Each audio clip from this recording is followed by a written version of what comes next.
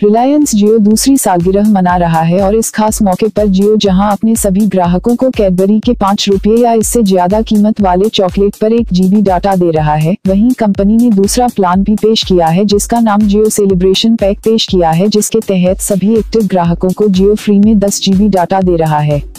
बता दें कि साल 2016 में जियो लॉन्च हुआ था और इन दो वर्षों दौरान भारत में मोबाइल डाटा का इस्तेमाल 20 करोड़ गीगाबाइट जीबी से बढ़कर करीब 370 करोड़ जीबी तक पहुँच गया।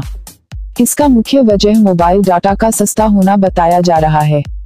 रोज कैसे मिलेगा फ्री में दो जीबी डाटा सालगिरह के खास मौके पर जियो अपने ग्राहकों को रोज दो जीबी डाटा दे रहा है। यह डाटा 11 सितंबर तक मिलेगा, यानी यह ऑफ़र सिर्फ़ 11 सितंबर तक ही है। इसकी शुरुआत आज यानी 7 सितंबर से हुई है। ऐसे में पाँच दिनों में आपको कुल 10 जीबी डाटा मिलेगा। हर रोज रात को 12 बजे दो जीबी डाटा आपके अकाउंट में आ जाएगा।